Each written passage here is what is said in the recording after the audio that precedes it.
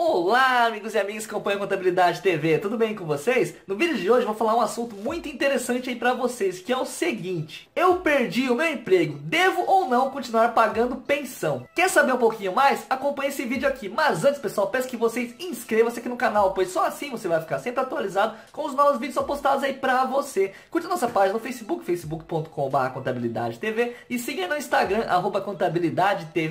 Bom, pessoal, sem mais enrolação, vamos ao assunto do vídeo.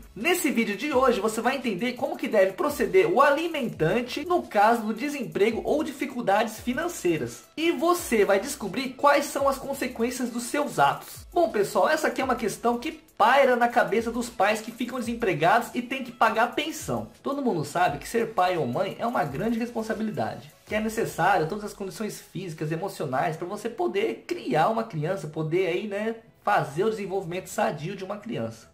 Acontece, pessoal, que não é raro que os direitos da criança tem que ser buscado na justiça, né? Tem que ser brigado. Nem sempre o pai ou a mãe paga a pensão certinho. Porque muitas vezes o pai ou a mãe não cumpre certinho com a responsabilidade dele. E como grande exemplo, posso citar aí a falta de pagamento de pensão alimentícia. A mãe está lá criando e o pai não paga pensão. Ou vice-versa, às vezes o pai está criando e a mãe não paga pensão. Pelo menos em teoria, a pensão alimentícia ela serve para garantir um mínimo de qualidade de vida para o menor que precisa aí dos dois pais para poder ter uma qualidade de vida legal tal. Ou seja, o básico para sua sobrevivência. E é assim, pessoal, se engana quem pensa que pagar a pensão alimentícia é uma obrigação exclusiva do pai. Muitas vezes a mãe também tem que pagar a pensão alimentícia. Então vai mais de quem está com a guarda. Se a mãe está com a guarda, a mãe recebe pensão alimentícia. Se o pai está com a guarda, o pai é que tem que receber pensão alimentícia.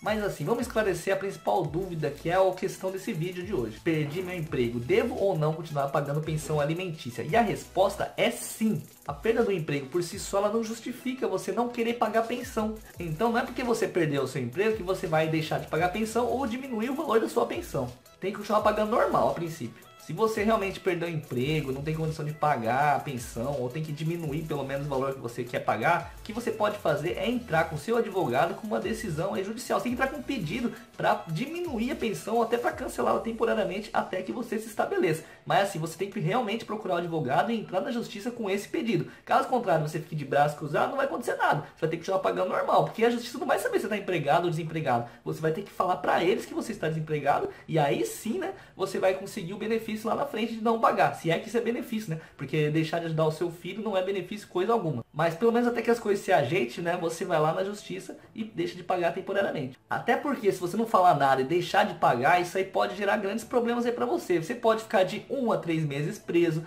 você pode ter os seus bens penhorados e um monte de dor de cabeça. Então o ideal mesmo é fazer o que eu falei no vídeo. Você procura um advogado e entra com pedido alegando que você está desempregado, não tem renda e por consequência não pode pagar pensão. Eu estou fazendo esse vídeo por causa que essa questão hoje ela veio no escritório de contabilidade. O rapaz ele perguntou se ele realmente tinha que pagar pensão, vez que estava desempregado.